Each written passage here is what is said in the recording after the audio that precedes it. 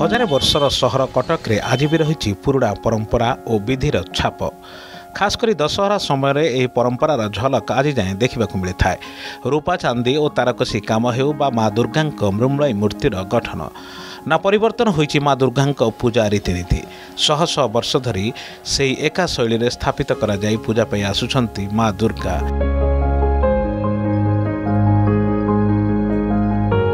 ଆଉ ଏ ହେଉଛି ବାଲୁବଜାର ବିନୋଦ ବିହାରୀ ପୀଠ।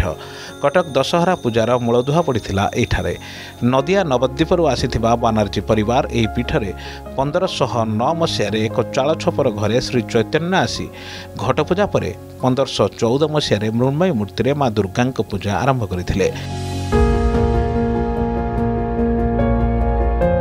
ସବୁଠାରୁ ବଡ଼ କଥା ହେଉଛି ଏହି ମଣ୍ଡପରେ ମାଙ୍କ ମୂର୍ତ୍ତିକୁ କୌଣସି କୁମ୍ଭାର ଗଢ଼ିନଥାନ୍ତି ସେହି ମଣ୍ଡପର ପୂଜକ ହିଁ ମୂର୍ତ୍ତି ଗଢ଼ିଥାନ୍ତି ଏବଂ ମୂର୍ତ୍ତିରେ କୌଣସି ରାସାୟନିକ ରଙ୍ଗ ବ୍ୟବହାର କରାଯାଏନି। ହଳଦୀ ଚାଉଳ ଚୁନା ଏବଂ ପତ୍ରକୁଣ୍ଡ ରଙ୍ଗ ବ୍ୟବହାର କରି ମାଙ୍କ ମୂର୍ତ୍ତି ପ୍ରସ୍ତୁତ କରାଯାଏ। ପୂଜା ରୀତିନୀତି ଅନୁସାରେ ଷଷ୍ଠୀରେ ବିଲ୍ଲବରଣ ସପ୍ତମୀରେ ହଜାର ହଜାର ସଂଖ୍ୟାରେ ସଧବା ମହିଳା ଆସି ବ୍ରତ ପୂଜା କରିଥାନ୍ତି। ବିଜୟା ଦଶମୀରେ ମାଙ୍କ ପାଖରେ ଦହି ପଖାଳ ଭୋଗ କରାଯାଇ ଭକ୍ତଙ୍କୁ ବଣ୍ଟା ଯାଇଥାଏ ସାଧାରଣ ଚାଳ ଘରୁ ଘଟ ପୂଜା ସ୍ଥାପିତ ହୋଇକରି ଏହି ମୃଣ୍ମୟୀ ଦୁର୍ଗା ପୂଜା ଆରମ୍ଭ କରାଯାଇଥିଲା। ଏହା ପ୍ରଥମତଃ ଏ ଯେଉଁ ଆମର ଅଞ୍ଚଳବାସୀ ବା ଯେଉଁମାନେ ସେବାୟତ ବା ପୂଜକ ବାନାର୍ଜୀ ପରିବାର ସେଇମାନେ ଆରମ୍ଭ କରିଥିଲେ ଏବଂ ତା ଅଦ୍ୟାବଧି ଗତାନୁଗତିକ ଭାବେ ତାହା ସଞ୍ଚାଳିତ ଚାଲିଛି। ଭକ୍ତମାନଙ୍କ ମଧ୍ୟରେ ଏତେ ଉତ୍ସାହ ଅଛି ଏ ବର୍ଷ ଆମେ ଆଶା କରୁଛୁ ଦଶ ହଜାର ଉର୍ଦ୍ଧ୍ୱ ଲୋକ ଅଷ୍ଟମୀ ଦିନ ହେବେ। ଆଉ ଗୋଟିଏ କଥା ହେଇଛି କ'ଣ? ମାଙ୍କର ଯେଉଁ ଆଗମନ ଆସିଛି ସେ ଯିବେ ମାନେ ଶସ୍ୟ ଶ୍ୟାମଳା ସେ କରିକି ଯାଉଛନ୍ତି। ଆଉ ଗୋଟିଏ ହେଉଛି ପ୍ରଥମ କଥା ହେଉଛି ଆମର ପୂଜାର ଆହୁରି ଗୋଟେ ବିଧି ହେଉଛି ସପ୍ତମୀ ଅଷ୍ଟମୀ ନବମୀ। ଏ ତିନି ଦିନ ଆଠଶହରୁ ହଜାର ଲୋକଙ୍କର ପ୍ରସାଦ ସେବନ ହୁଏ ଆୟୋଜନ ବି ହେଉଥିଲା ହେଉଛି ହେବ। ଏବଂ ଦଶମୀ ଦିନ ଗୋଟେ ଦହି ପଖାଳର ଆୟୋଜନ କରାଯାଇଛି ଯେଉଁଟାକି ହଜାରରୁ ଉର୍ଦ୍ଧ୍ୱ ଲୋକଙ୍କର ହେବ।